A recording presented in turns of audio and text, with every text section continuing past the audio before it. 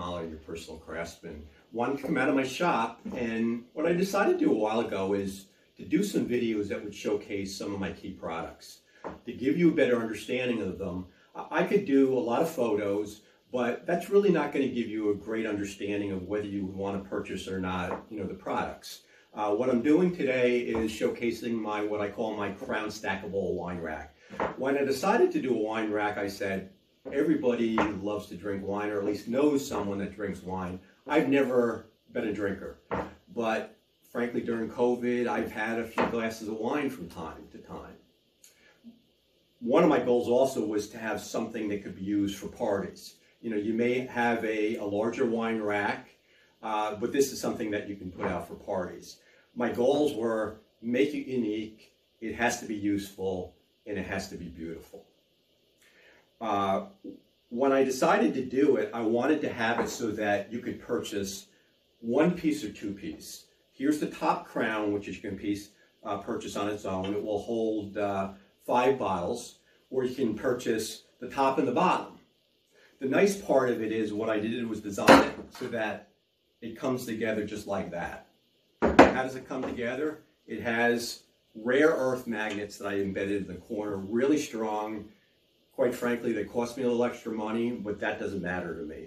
Again, put it on, line it up, comes together, and it, and it, and it works, works great.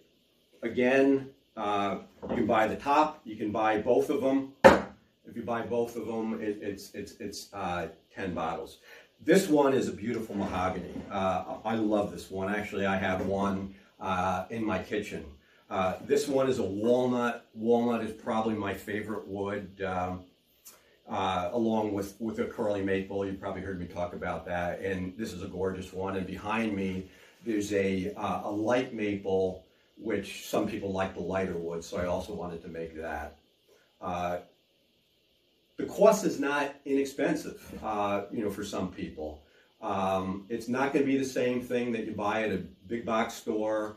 Um, it's not the same product.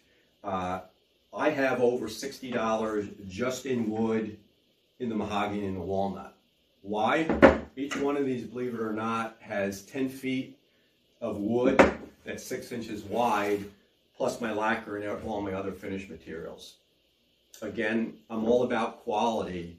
Uh, I'm not about building something cheaply and this will last you a lifetime and you'll be proud of it on your counter. The uh, crown is available on my website at www.yourpersonalcraftsman.com. I'm going to be doing a lot more of these videos over the coming weeks, so please join me in watching them. Have a great day and be safe.